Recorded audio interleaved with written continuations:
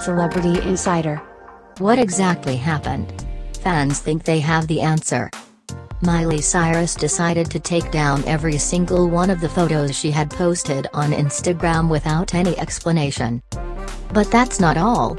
On her Twitter, the bio, as well as the profile pics, are blacked out now. Although there is no official answer to the question that is on everyone's mind, why? Dash fans took to Twitter to share their theories.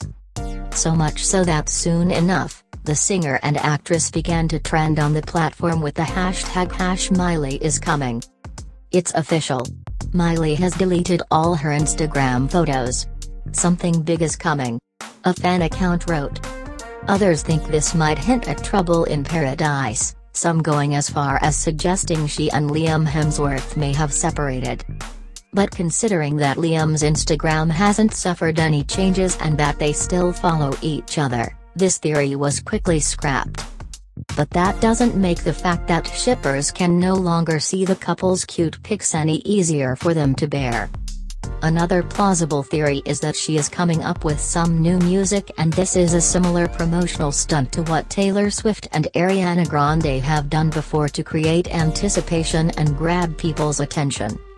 The fact that she's deleting all her 2013-14 posts already and is still deleting is huge.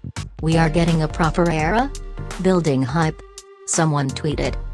Or maybe she just wants to change her style and image completely.